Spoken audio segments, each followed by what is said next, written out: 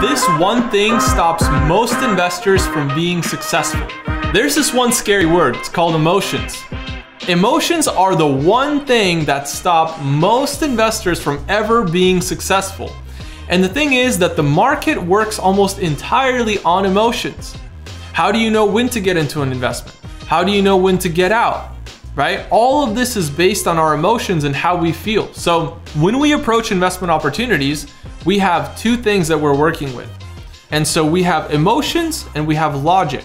If we approach our investment opportunities with an emotional approach, we're most likely going to fail in that investment. And that's just how it is. As investors, we need to understand how we can separate that emotion from our investment decisions. I have found all of my best investments came from a time when I was able to think through that process logically, create a step by step solution on when I enter the investment, how I'm gonna know whether my investment was successful, and what is my exit criteria. The thing is that most investors just think about the first part. They're like, hey, let me just hop into this investment. Hopefully it works out, right? Sounds fun, sounds great. That's not how it works. We wanna make sure that we also have a process in place. How do we manage our investment? How do we monitor on our investment? Is our investment on track? And then when do we exit the investment? I would say that the exit is more important than the entry of the investment. And the reason is that a lot of times we leave a ton of profit on the table or we lose all of our profit because we exited at the wrong time due to emotions. So this is typically how an investment process works. We might be level headed, we might be cool, we think we're good, we start investing into, let's say, Bitcoin, right? Super easy example, super current, right? We invest into Bitcoin at 40,000, right? The value is $40,000.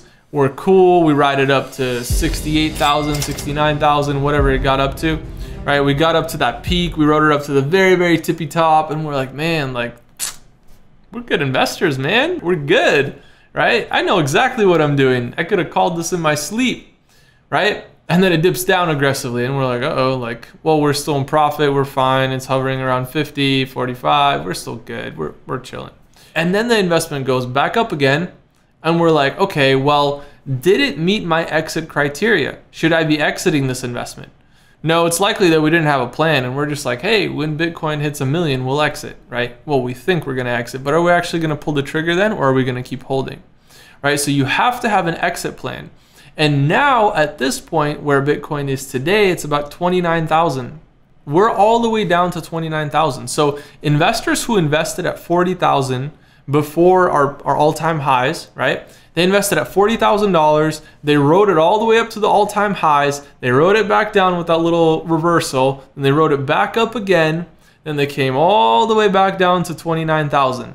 And so did they make any money? Well, they did at a certain point, but because they never capitalized on that, because they never had a set goal in mind, they were not able to realize any of those gains. And now they're at a loss. And so what happens with, with this investment now? These people, they rode this roller coaster of emotions. They were ecstatic because they were doing so well at the beginning. And then they got a little nervous. And then they're like, no, I was right. I knew I was right. This is going to keep going up. It's going to keep pushing. And it just kept going up and up and up and then all of a sudden it just reversed. And then we've had a few very bearish pushes down.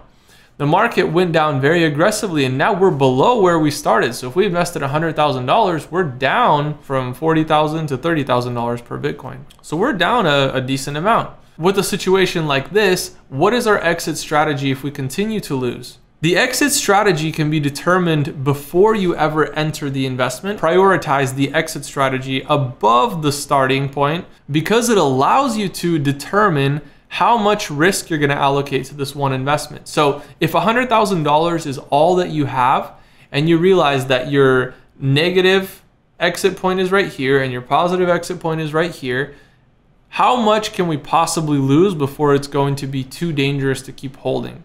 we need to realize where our threshold, our comfortability with risk, where that is.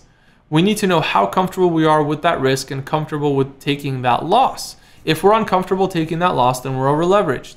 However, in order to keep a level head, in order to stay confident in what we're doing, we can't risk so much that we could potentially lose a very large portion of our portfolio. We want to make sure that it's always a very small percentage of our portfolio because that protects us as the investor and allows us to be strategic in what we allocate our funds to.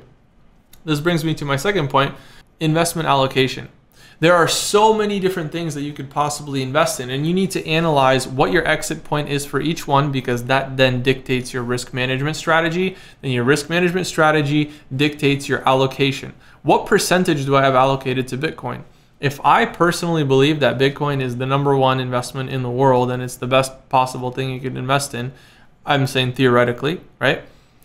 Then I'm probably going to allocate a good amount of my portfolio unless I realized, hey, this is a this is still a risky investment. This is cryptocurrency and we're already at 40k. Maybe I shouldn't invest all my capital. Maybe I shouldn't invest 50%. Maybe I shouldn't invest 30%. But maybe I'm okay putting 10 or 20% into this investment because in the worst case scenario, if I lose 10 or 20% of my portfolio, I'm still fine with it.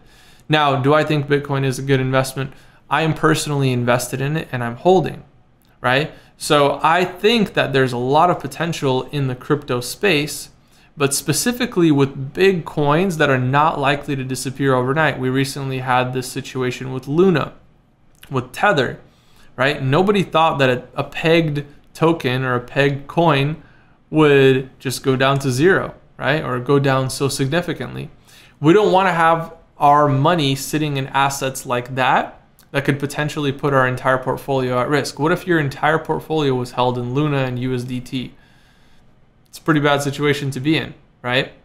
We want to make sure that we're allocating our capital to strategic assets in classes that are proven to perform.